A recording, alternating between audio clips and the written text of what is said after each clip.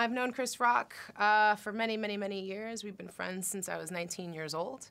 And he approached me on this, um, saying that he had written it for me, which was incredibly flattering and exciting and awesome, and also um, stressful. And uh, I was like, good on that. Thank you. It was very sweet of you, and have fun making your film. And he was like, wait, excuse me? You're not going to do it? I'm like, I'm thinking maybe not. And um, for multiple reasons. You know, my grandmother passed two years ago, and I felt like I'd done like eight movies after she'd gone, and I just needed time to be with my family and chill and just take a breath. I was feeling a bit burnt out.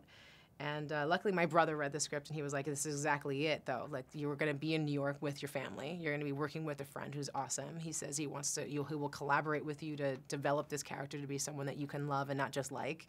So, like, there's, there's nothing, there's no negative here. And I was like, Well, the only negative that could actually potentially be is that he's going to say, Yes, we can change this and we can develop this and we can do all that. And then he's be, as the writer, director, producer, actor in it, become so overly precious with it that then we don't change anything. And then I'm going to be mad and then we're not going to have friendship, and that would really suck. So why, why, why, why make that happen? Why take that risk?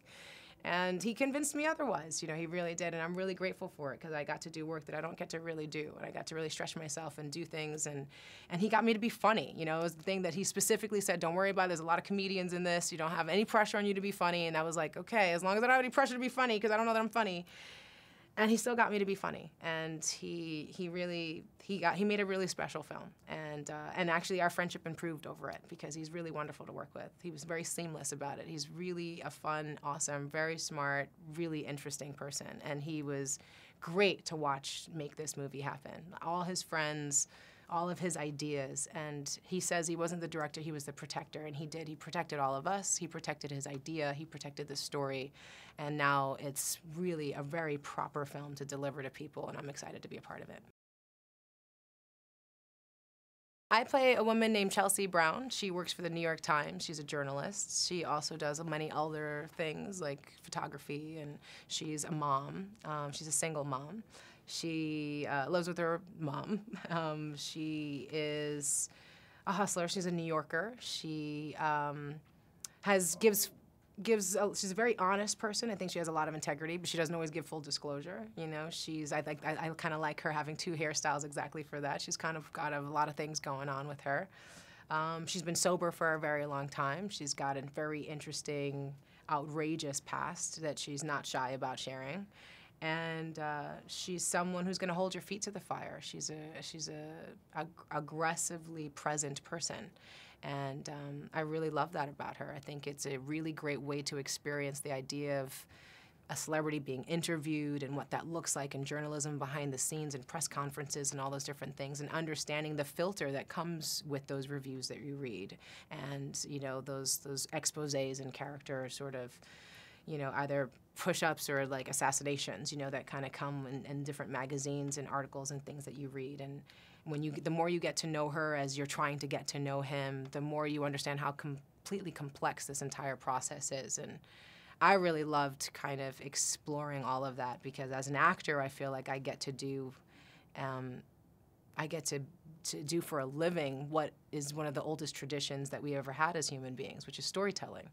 And as a journalist, I suddenly recognized that that's part of it as well. I've never really, I, I, had considered it in the sense of like, you know, doing really proper news stories and non-fictional stuff. But even the non, you know, you know, even the fictional stuff, like there's your storyteller. You know, you get to be, if you're not actually a fan, you get to be that experience for the fan who's like, you met that person I love or hate. What was that like? You know, and um, and thank goodness for that. You know, that's what that's what connects us to each other. Are all of those stories good, bad, and ugly, um, real and not real? Um, and uh, it's special. It's very cool, and it was really fun to do. Atmosphere on set was ridiculous. Like it really, it was humid and really, really hot because we're shooting in New York and you know, when people are really sweaty, I mean, good things come out of it. You know what I mean? People showed up, people were very present. And I thought that was really, really awesome. You know, you had we got some really startlingly clear and incredible performances out of everybody. And I think one of the things that makes this movie so special is that as though although it's an ensemble and it's got so many people in it, you don't feel like there are cameos. They really are people realizing very actual characters, and every single one of them helps move the story along. Even if they're there, what it feels like for a punchline, that that punchline always comes back around in a really meaningful way to the story.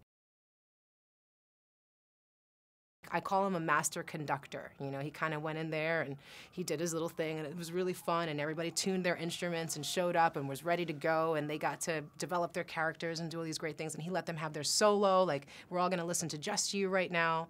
But then he also would sometimes keep his hand up, and you're like, oh, I was done. Oh, I guess not. Oh, he kind of keep doing it, and suddenly you realize, whoa, you got something out of me that I wasn't expecting to do, and thank you, you know, because I got to do what I do and put my stank on it. But you also saw something else in me and took it to that level, and he did it differently with every single person as we were filming. You know, like there were some people who was like, you just need to sit, hit this word in this line. That's all I'm looking for, and here's your actual line. And other people, he'd go, just I'm just going to ask you a couple questions and guide you, and let's see what happens. And other people, he just just not call cut. He just not call cut, and so the person would just keep going and going and going and going. We've got we've got footage forever on Tracy Morgan. Just keep going and going and going. You're like, dude, we gotta move on. Like we got we got a day to cover, and like why, why are you going with this? It cannot possibly be funnier. He's the funniest freaking man on the planet right now. Like in front of this White Castle, how can it be any funnier? And Chris would just wait, and he'd wait, and he'd wait, and throw another question out there, and all of a sudden you'd get this gem, and you're going, oh, that's what you were waiting for. That's the sweet spot. You know your instruments. You know your you know your craft like you know what you're doing you're really amazing and you know i think so many people know chris as this person out there and doing and talking and aggressive, and you can't imagine you'd ever get an edge, a word in edgewise. But he's an incredible listener. He's an incredible conversationalist, but he's an incredible listener. He knows, he pays attention to everything, and by paying attention, he knew what everybody, he knew where he could take them, and he did it. I think people are gonna love this movie because you know it's it's fun. It's enjoyable. Like it's a good night out. It's a good day out. It's perfect for our culture. You can actually sit there and go, I don't need to look at my cell phone once. I actually get to just sit here and be entertained and my brain go in all different directions, which is what I'm used to as if I was online. I don't need to watch 20 different YouTube videos. It's all here in one. It touches on everything, relationship and some, you know, reality TV and issues with your father and you know struggling with what your talents are. And it's a there's a buddy movie in it and there's a bear suit. Like I mean it's literally it's ridiculous. It's it's unbelievable. And it all actually works. It's not chaotic. It's it's actually really really special. So I think people are to feel like this is a movie for them